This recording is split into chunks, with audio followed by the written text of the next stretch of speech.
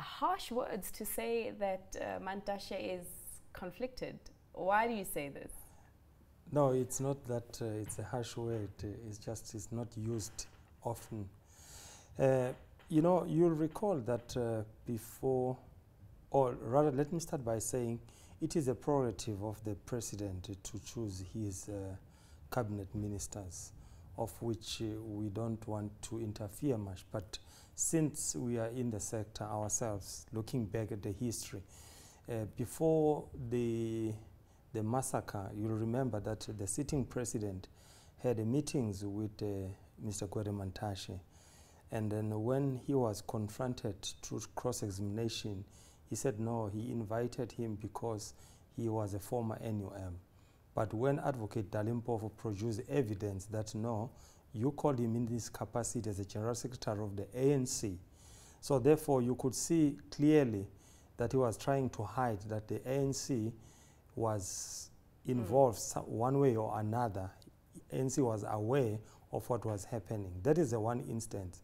And then the second one, during the five-month strike, uh, when the, the Minister of Mineral was uh, Ngoako Ramatlhodi, mm. When he was uh, busy trying to resolve the strike, to reach a deal with all partners, he was recalled at uh, Irene, where the ANC had Lekgotla in 2014. And then he phoned us and said he'd been called by the Luthuli House that he must just leave uh, that intervention of his uh, during the strike.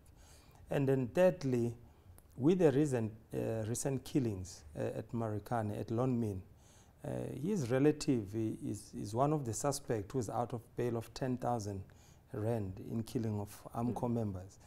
And uh, those things, it put a cloud whereby the state president still wants to come and meet the families. And at the same time, he brought Mr. Mantashe uh, to be a minister of mineral and energy in the same environment that is highly contested, of which he's got an interest. He's mm. a former NUM leader. He's been the ANC General Secretary.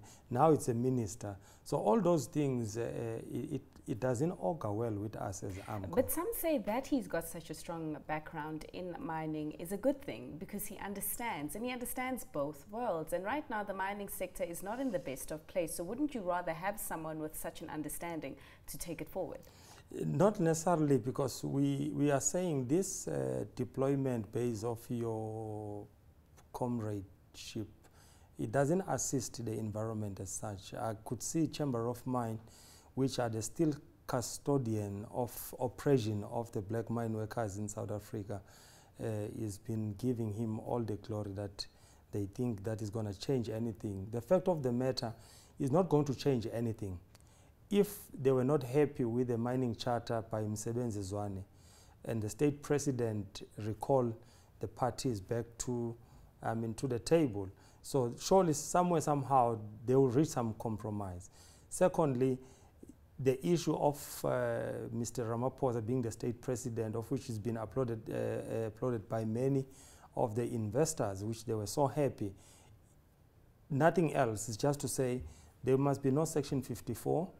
You mustn't be harsh on us in order to gain the, the foreign investor confidence to us. So therefore, those are the things that we are not sure whether he's going to change anything or he will just soften the blows that the investors or the mining sector is feeling right now. Have you spoken to Gwede since his appointment? No, no, no, no. We haven't spoken to.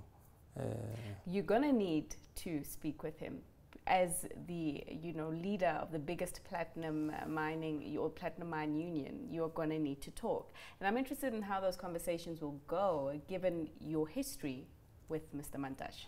No, I, am not holding any personal grudge uh, with Mr. Ma, uh, Mr. Mantashe. That must be clear. We will respect him as a minister appointed legitimately by the democratic government, of which the, the ball is in his court, whether will be able to separate his legacy from NUM office and to the political party office, which is the ANC and the government. If you'll man, will be able to separate uh, those, uh, uh, I mean, uh, uh, uh, what's name, what we call it, those disciplines then we will have no problem with him at all. But we are raising this as a serious issue because him and Cyril come from NUM and went to the ANC. Now they are running the government. So in other words, the government of the South Africa of South Africa is run by the NUM.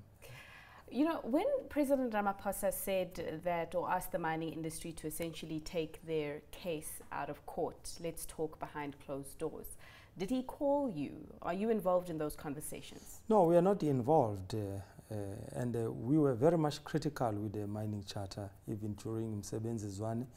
Uh, we thought maybe we will be called, but it never sufficed, of which we hope in future, if there will be any forum, we will be invited. Now, uh, Ramaphosa, it's understood that President Ramaphosa wants to go to Marikana to go and speak to the miners there. How do you think he'll be received? Uh, I think firstly, it was not supposed, if I were Mr. Ramaphosa, I wouldn't even announce even in the SONA uh, that he is willing, he want to be in atonement of whatever the wrongs that happened there. He should have quietly called all the stakeholders, ourselves, the legal representatives, because remember in 2015, uh, the, the then state president, uh, Mr. Zuma, uh, he made such a, a pronouncement let's fix the issue of Marikana, let's speed up the processes of payment and claims. And then after then everything went quiet. So I thought he would be very quiet on this and call the stakeholders to say, how do we move forward based on this issue? This is how I view things. What will be your take? Then quietly we involve all stakeholders. As we come before the public, the nation, we are formidable. We know we talk in one voice, hmm. if I was him. But not just go in the gallery and just say, I'm prepared to do everything. At the same time, look now, he's appointing Gwede Mantashe without realizing that the same Gwede Mantashe was implicated in Marikana massacre.